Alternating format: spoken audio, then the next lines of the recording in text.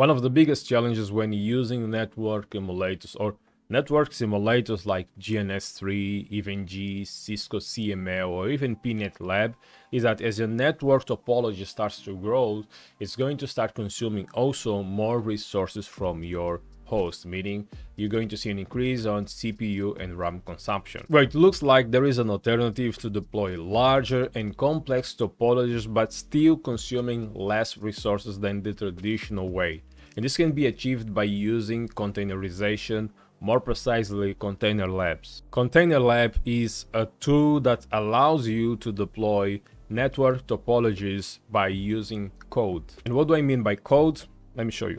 Okay, we're going to install Container Lab on this Ubuntu machine and we're going to use a step-by-step -step instruction here that's going to show us how to uh, deploy these topologies. You can see uh, there are three switches and two clients and this is a pre-built lab by the way so all you have to do is to make sure that you have enough resources so at the minimum two virtual CPUs and 6 gig of RAM.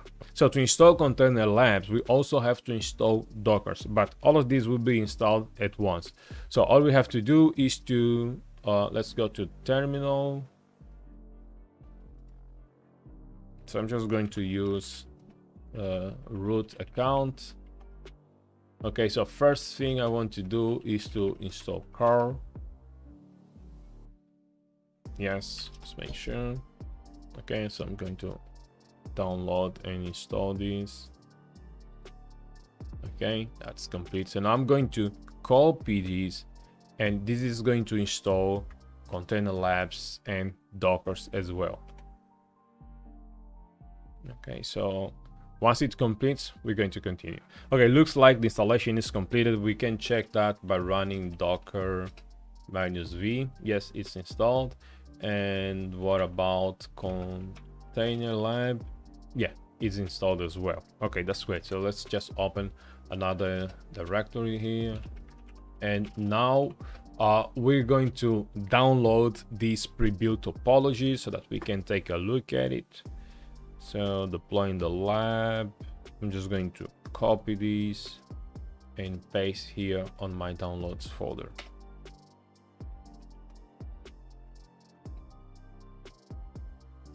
So it's going to start downloading and building this lab topology.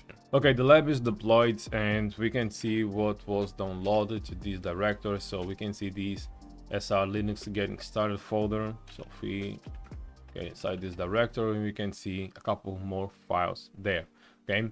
Now we're supposed to see all of these uh, five devices just like shows here in the topology right three switches and two clients and we can actually log into these devices now. And if you follow the procedure here like it says ssh leaf one and if we try leaf one so it's going to ask for a password and in the document it doesn't show uh, what is the password what is the username okay? And in order to log in or to find out the username and the password if we look at these uh, directories uh, and we go to C lab so let's take a look. So for instance uh, more and let's go to Ansible inventory uh, here we can see okay in order to log into those devices these are the credentials okay? Admin and this password okay? I'm just going to copy this and just use the text editor okay? So admin okay? So those are the credentials that we can use to SSH to these switches. So if I type now SSH admin at leaf one and paste the password there, now I'm inside the switch. And this is uh, like a Nokia switch or SR Linux switch. And we can run some commands like uh, ping, uh, let's see, let's use network instance management 2022 and three. So we can run some commands there. And also like show version. Or you can also run so show interfaces. I believe that's show interface. Yeah that's it. And again this is a different uh, operating system and you can take your time and to understand how it works. Well so that's it for these topologies. And the way it works let me see so that should be this one. So how it builds this topology is by uh, if we take a look at this YAML file, so this is essentially what tells, okay, how do we want this to be built? And we can see like we have uh, here a couple of nodes, right? Leaf one, leaf two, and spine one. Uh, the image that's going to be used, the type of image, and also for clients, the type can just mean the type. In this case, Linux, and uh, assign an IP address to the client. Okay, and then how those devices, those nodes, they are going to be connected. Okay, so all of this is done just by using this file. Okay, and there are other uh, complex topologies like this other one. So let's download uh, git clone. And I'm going to download this one. Okay, so it's around telemetry. Okay, and we can deploy this lab by running the command uh, container lab deploy minus t st clab yaml. Oh, I have to add my username to this group. copy, go to this directory. Done. So now let me run again. So it's going to start pulling the images uh, for this lab. Now, if you notice that it's taking some time, um, just be patient because it's actually uh, running. So if you look at the resource system resources, uh, depending on your system, you should see that this is going to probably reach 100%. In my case, I have four CPUs. So it's going to take some time, okay? So just be patient and don't interrupt this process. Okay, I got an error here. So continuous leaf 2, spine 1, client 2, client 1 leaf already exists. Okay, I'm just going to add reconfigure and it's going to try to deploy again. Okay, the lab is deployed and before we log in, uh, let's see, should have, okay, so this is the public directory so this is the lamp just deployed and this one has uh, five switches with three clients and we can also see here grafana. So I actually want uh, to access instead of the switch uh, we want to log into grafana. And they should have the page here. Yes i'm just going to log into Grafana now. And we should see, uh, let's go to dashboards, network telemetry. Okay, and so we have these, the lab built and already deployed with uh, Grafana integration and you can kind of see uh, the current status of the network. This it's, it's quite useful and you can see it's not consuming uh, a lot of resource. now my CPU is around uh, 50 less percent and also in terms of memory, so around 60 percent. And I have what one, three, so probably five. So if I go back, it should be what not five, but uh, five, eight, so probably 11 devices and still running smoothly. Okay. Now, what if we don't want to run these uh, live topologies because these are just examples. What if we want to build our one, especially if we want to build Cisco devices? But in this case, you have to take some time and go over uh, Container Lab documentation as they explain in greater detail how you can achieve those kind of things. But let's just see an example on how to deploy a small lab with one Cisco suite. Okay, so first we need to get the Cisco images and uh, the instructions on how to do it. It's actually on this document, okay? So if you have Cisco CML, you can get the images from Cisco CML ISO file. Okay, in my case, I have these files, so I'm just going to create a new directory here, downloads, uh, it's called Cisco Lab.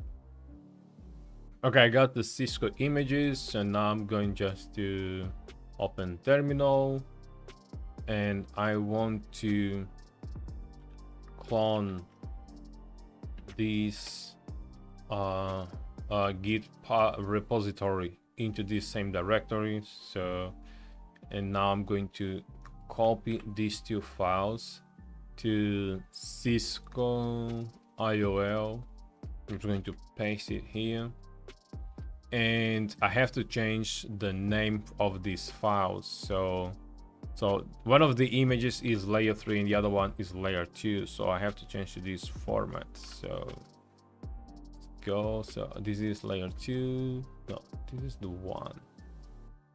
Yeah, this is layer 3. I have to change this. The version I believe is 17.5.1. And I'm going to rename this and the other one so it has to be Cisco IOL L2 and that's going to be um, as well uh, 17 15.1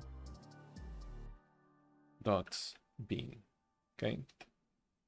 Okay so i have these two files with this name so now uh, i have to run this command make docker image and i have to do it as a sudo. So i'm going to use i close this one.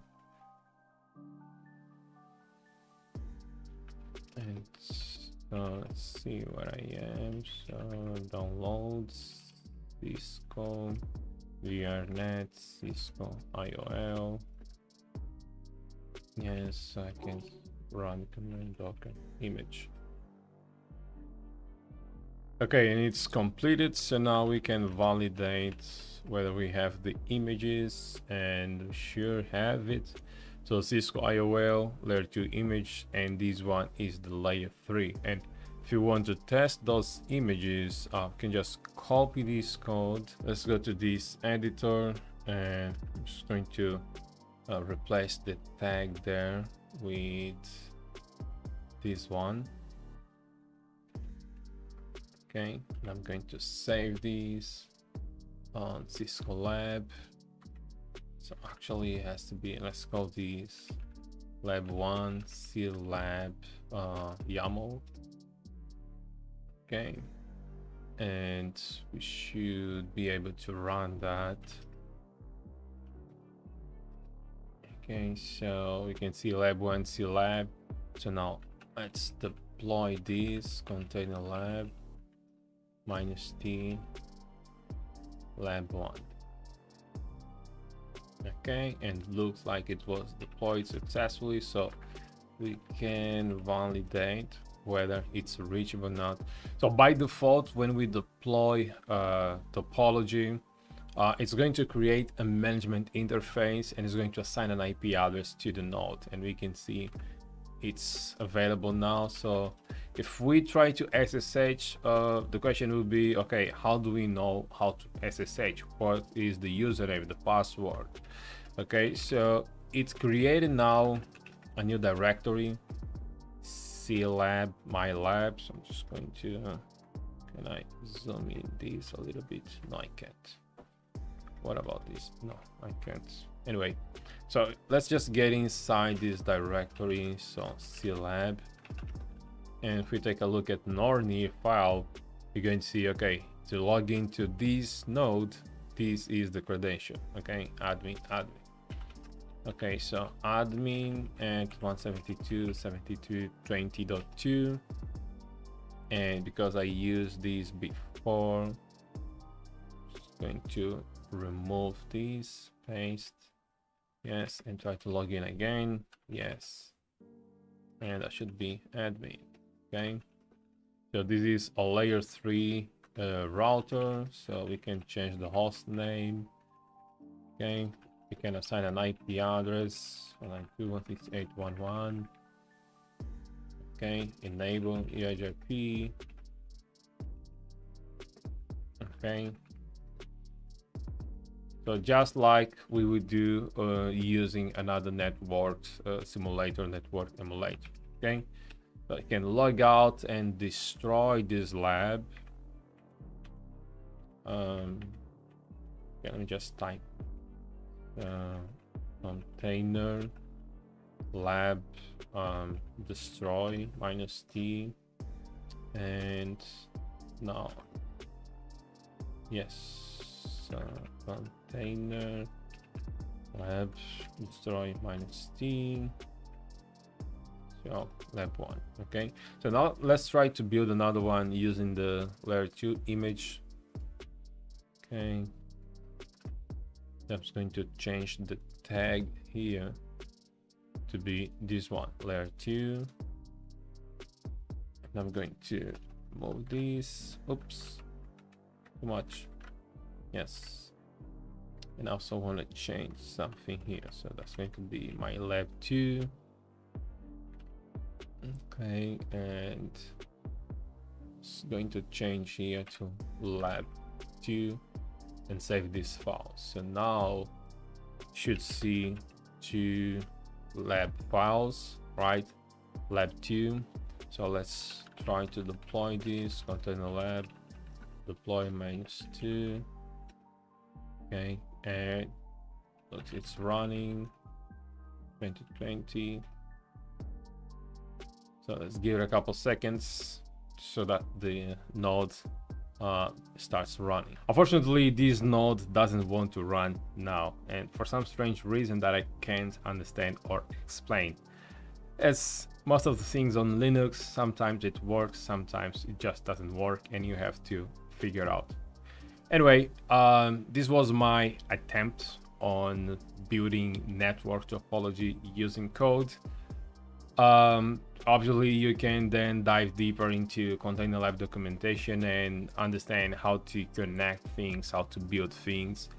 Uh, but man, this is my take on this one. Uh, I'd like to know your thoughts in case you are more advanced one or you want to dive deeper into building network topologies using code. If you took value from this video, don't forget to subscribe, hit the like button, and I'll see you in the next one.